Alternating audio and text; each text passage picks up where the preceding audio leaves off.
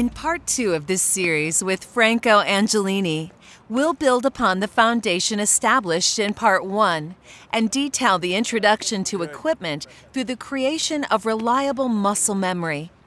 These conditioned mechanics are the basis of consistent training, and Franco strongly believes that the helper can only focus on dog behavior and reinforcement once physical movement is technically correct, habitual, and fluid. Admittedly, this video series is designed for novice helpers, but will also be invaluable for helpers and handlers that have some experience and need more solid fundamentals and problem solving. Even experienced helpers looking to teach newcomers will greatly benefit from the step by step progressions. Because professional canine is often a service rotation rather than a true vocation, this series is designed to bring a professional canine handler the consistency of helper work that will elevate the quality of performance seen during deployment.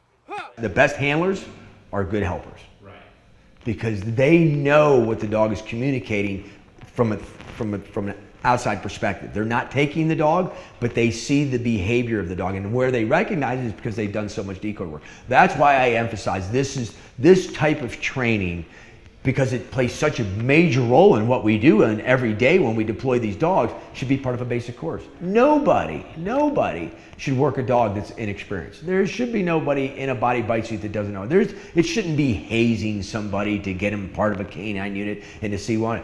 I totally agree that every handler should be on the receiving end of a dog. They should understand what they're deploying, and they, but they should do it in such a sense where they have a uh, not only a respect for it, but they can also help the program. Not just do it to do it, but have a good understanding of behavior, be mechanically sound, be able to read behavior. So when they are on the giving end, when they are handling the dog and he's going on another decoy, th- that communication between it's it's so nice when you can work with an accomplished handler that's been a decoy because they can read my body language. I don't have to say anything to the handler. They already know what my next move is going to be. That is rewarding as a decoy. When I can start putting all my effort into the dog and know that that handler is a total support staff, and if I make a step with my left, he knows why I made a step with my left. Okay, if I fall back, he knows why I'm falling back and where my next step is going to end up. That's what an accomplished handler that's been through a structured decoy course that understands behavior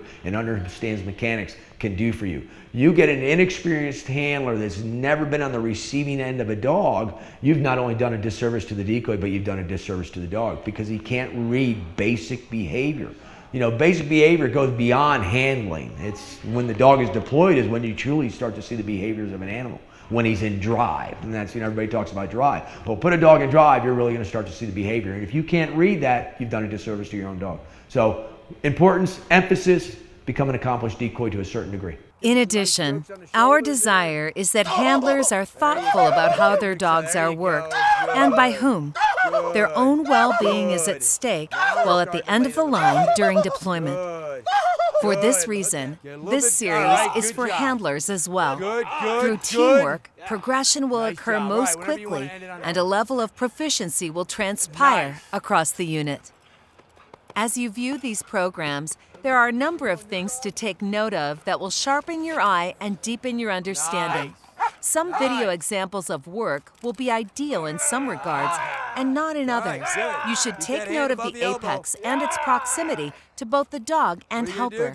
Observe the helper's footwork during presentations and take note of equipment presentation and helper eye contact. Listen to the helper's auditory signals and observe their body language. Be mindful of the dog's efforts to improve its grip and consider the reasons, timing in relation to the helper's communication and physical feedback. Observe the helper's take hand position during bite work and, and transitions right off of equipment, as well right as the dog's body language and vocalizations. Reach Finally, consider changes to the environment yeah. that include helper hand position, eye and body contact, proximity oh, to the handler, oh, oh. and elevations off the ground. Attention to all of these will train your eye and help you to visualize your own movement and behavior when working dogs. Finally, we appreciate the dog handler teams that participated during the production of this series. Filming occurred during a seminar class, and the helpers were relatively new to helper work, generally didn't know the available dogs, and had a variety of equipment.